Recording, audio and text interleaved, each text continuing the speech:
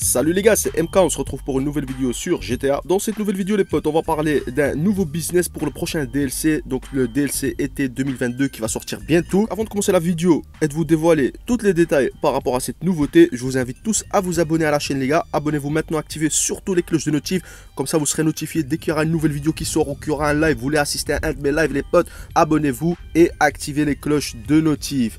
Donc les potes, il semble donc qu'on aura un nouveau business en forme de propriété pour le prochain DLC 2022. Cette propriété qu'on aura les potes, franchement, elle va vous hyper les gars parce que vous la connaissez sûrement.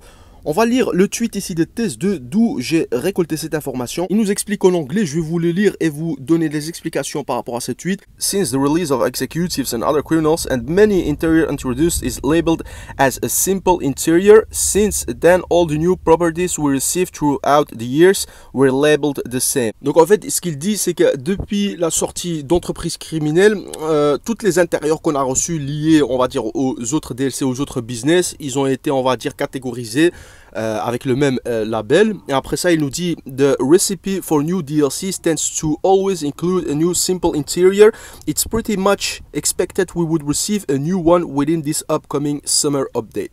Donc voilà, euh, tous les DLC qu'ils ont suivi après, ils ont reçu quasi le même style d'intérieur simple. Et donc, ce qu'il nous dit après, c'est qu'on va probablement avoir un nouveau une nouvelle propriétaire en fait de ce style business avec un intérieur simple pour le prochain DLC été, les gars.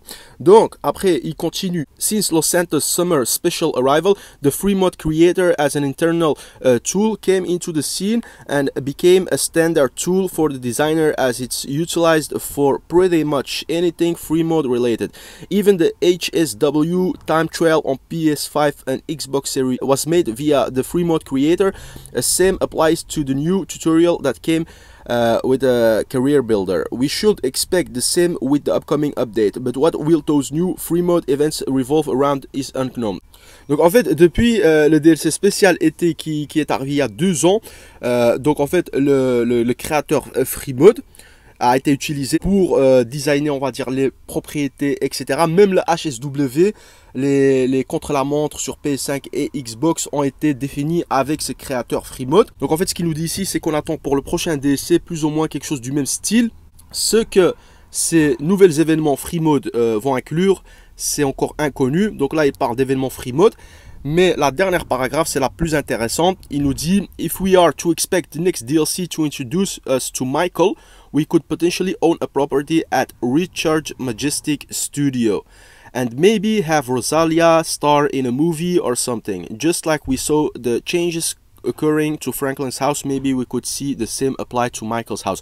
Donc voilà les gars, déjà j'ai sorti une vidéo par rapport à un DLC avec Michael il y a quelques mois. Je vais vous mettre le lien en description. Donc ici, test 2, il nous parle de, en fait, de si Michael va être introduit pour le prochain DLC, il se peut qu'on aura une propriété, donc un business qui sera le Richard Majestic Studios. C'est de ce business dont je vous ai parlé les potes au début de la vidéo.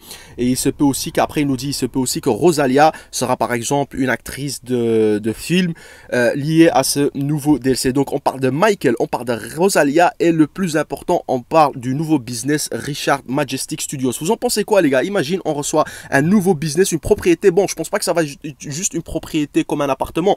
Ça va sûrement être lié avec un business comme l'agence. Et en plus de ça, ça fait une suite assez logique pour l'agence, vu qu'on travaille avec des VIP, etc. Imaginez-vous, on reçoit le Richard Majestic Studio, comme on a reçu le casino en tant que propriété achetable avec les suites du casino. On a reçu donc justement les agences. Euh, personne n'aurait pu penser aux agences. On a reçu le guerre d'arène aussi. Bon, franchement, c'est très probable que le prochain business, les gars, euh, en forme de euh, propriété sera le Richard Majestic Studio 7. D'après Test 2 en tout cas, moi je pense que c'est assez plausible. Dites-moi vous en commentaire ce que vous en pensez, les gars. Est-ce que vous serez hypé d'avoir ça comme business, comme propriété achetable? Un style de bureau, on pourra par exemple rentrer dans le monde cinématographique, etc. Franchement, moi je suis trop hypé. Je suppose que ce sera quand même prévu dans un des DLC, j'espère le prochain, c'est-à-dire le DLC été 2022. Donc voilà les potes, ça m'avait l'air d'une info assez intéressante que je vous partage dans cette vidéo. Mettez en commentaire ce que vous en pensez. N'oubliez pas de liker la vidéo. Et si vous venez découvrir cette chaîne les gars, n'hésitez pas à vous abonner et d'activer les cloches de notif. Vous savez ici on balance du lourd, toutes les promos, les bonus, les nouveautés, les DLC et surtout des gros lives. Sur ce, je vous remercie d'avoir regardé cette vidéo et je vous dis à très bientôt pour une nouvelle vidéo sur GTA